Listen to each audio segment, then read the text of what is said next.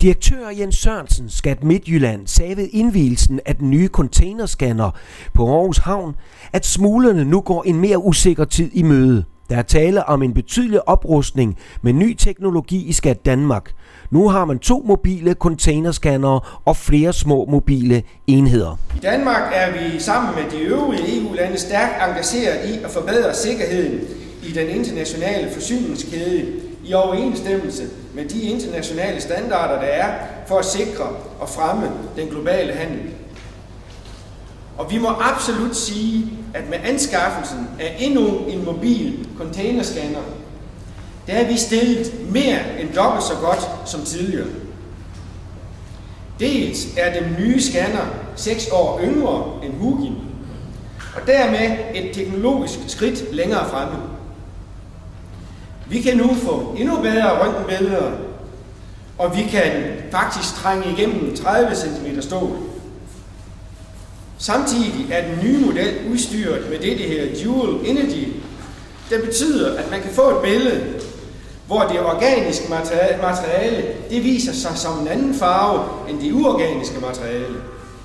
Det giver os helt, helt nye muligheder, og jeg vil godt love jer, fuglerne de går en mere usikker fremtid i møde. Den her nye scanner har mange fordele i forhold til den gamle. Man kan sige, at der er jo sket en et stor teknologisk udvikling fra vi fik vores den første i 2006 og så til nu. Ligesom med computer og ligesom med alt muligt andet udstyr, så udvikler tingene sig jo. Den her, den øh, er i stand til at køre med dual energy, det vil sige, at den kan skelne mellem organisk og ikke-organisk materiale. Den genererer faktisk tre billeder på en gang. Et dual energy billede, et, 3 MEV billede og et 6 MEV billede. Og, og det gør, at øh, 6 MEV billedet er, er der, hvor vi, det er den kraftigste, kraftigste røntgenstråle. Der kan vi se igennem 320-330 mm stål. Men også det, vi får to scanner gør, at vi jo kan være flere steder i Danmark. Øh, med den gamle, ja, der var det jo nemt, hvis vi var på Sjælland, ja, så stod hele Jylland jo åben. Øh, var vi i Jylland, så stod hele Sjælland jo åben med, med de her to, så har vi muligheder for, har vi jo sådan både en scanner i Øst-Danmark og en i Vest-Danmark.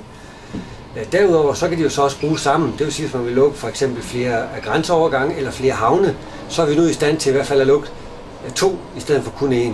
Og det vil sige, at vi er ikke så nemmere at omgå som før. Der er forskellige hjælpeværktøjer i softwaren her. Det er sådan, at de her farver, de, de siger ikke noget. De, lige præcis de her farver siger ikke noget om, hvad det er. Det siger lidt noget om, hvor meget øh, stråling, der slipper igennem. Og nogle, nogle farver er gode til nogle ting, øh, andre farver er, er gode til noget andet.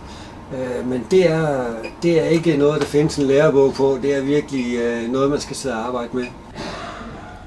Med de to mobile containerscanner, og i øvrigt om få måneder også nogle små scanner og trailer og mini-scanvans og hvad det ellers hedder, der er der sket en betydelig oprustning med ny teknologi i skat.